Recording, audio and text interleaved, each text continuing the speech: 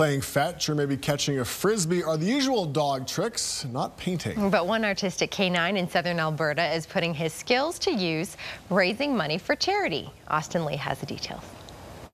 Roll over, sit, shake a paw, and paint?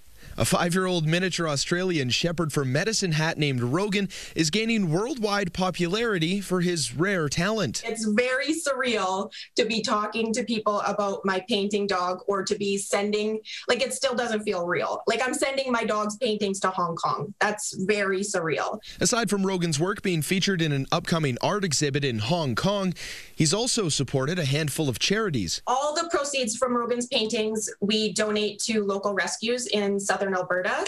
So we've donated just about $6,000 so far since we started painting. And he's only been painting for a little over a year. The artwork may look a bit rough, but no one said making art without hands would be easy. Sometimes he shocks me by how quickly he picks things up. It's almost like he's a mind reader. Like I feel crazy almost saying that, but it's like he's so quick to pick, pick things up and he just loves training so much and he's so joyful about it. Some of Rogan's work is currently being auctioned off to support the Tripawds Foundation, which offers care packages and support for cats and dogs with cancer.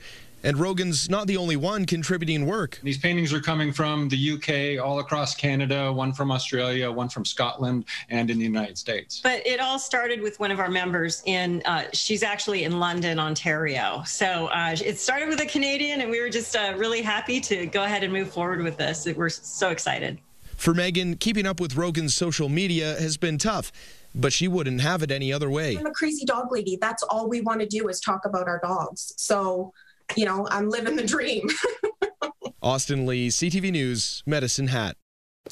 Tripawds art auction is on until June 13th. For more information, you can visit their website, tripawds.org.